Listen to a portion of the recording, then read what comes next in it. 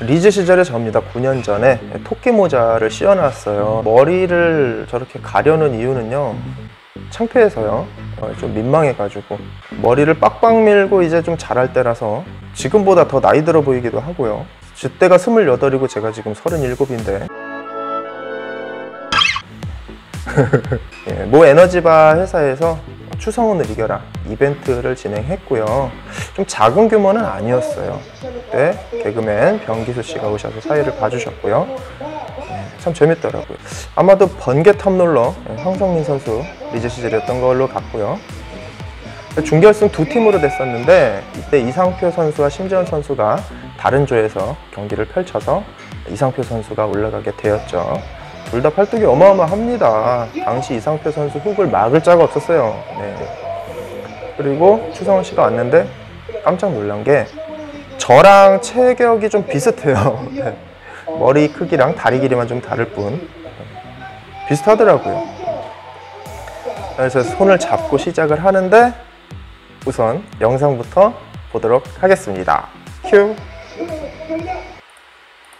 아씨.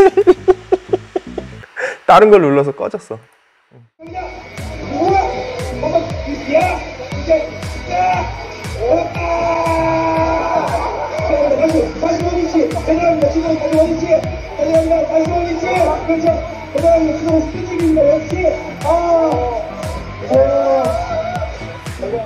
자, 어떠셨나요?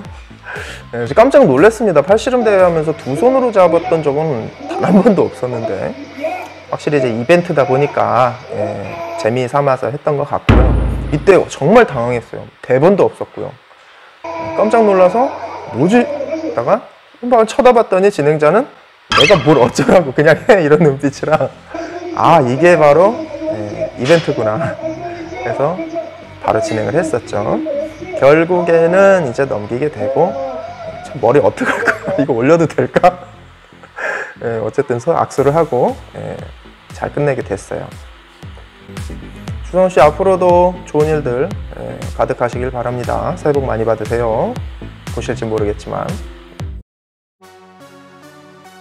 자, 지금 이건 뭐냐면요. 제가 지금 준비하고 있는 컨텐츠예요. 예, 국내 최초 대규모 프로젝트. 자, 여기서 한 분이 또 카메오 출연을 합니다. 네, 누구신지 알만한 분은 아실 수도 있는데 뭐 자세한 내용은 제가 다음 주에 곧 업로드 할 테니까 예, 한번 기대해 주셔도 좋을 것 같습니다. 예, 재밌을 것 같아요. 자, 재밌게 보셨으면 구독, 좋아요 예, 눌러주시면 감사하겠고요. 알림 설정 예, 잊지 말아주세요.